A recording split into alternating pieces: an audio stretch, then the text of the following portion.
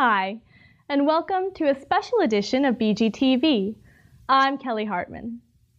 Today's fiber networks must meet exacting performance requirements to withstand the demands of widespread broadband access technology deployment.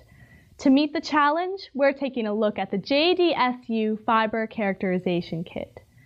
The JDSU Fiber Characterization Kit follows a script that verifies the integrity and capacity of the fiber plant and ensures that network speeds are tested consistently across the entirety of an operator's network, from fiber to fiber and from location to location.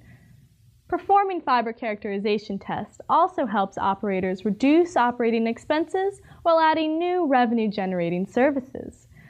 The tests completed with the JDSU fiber characterization test kit are insertion loss and optical return loss, OTDR at 1310, 1550, 1625 nanometers, chromatic dispersion, polarization mode dispersion, and attenuation profile testing.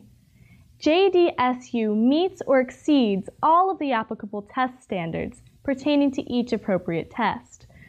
While a few fiber characterization measurements, such as attenuation reflectance and dispersion, can be performed during fiber installation, system upgrades, and during maintenance calls, a complete fiber characterization suite can be exhaustive.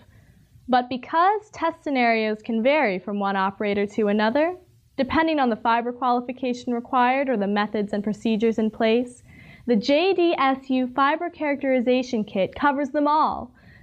We think you will also appreciate that the JDSU Fiber Characterization script eliminates the need for technicians to do post-test processing. Instead, a folder is automatically created on the hard drive of the fiber characterization test equipment containing the relevant test information for any one particular fiber. A text version of these test files can be sent to engineers and designers for quick reference and easier record keeping.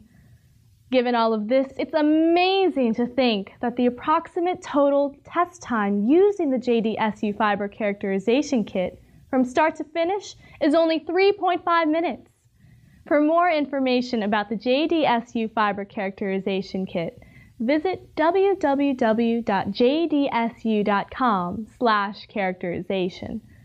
For BGTV, I'm Kelly Hartman.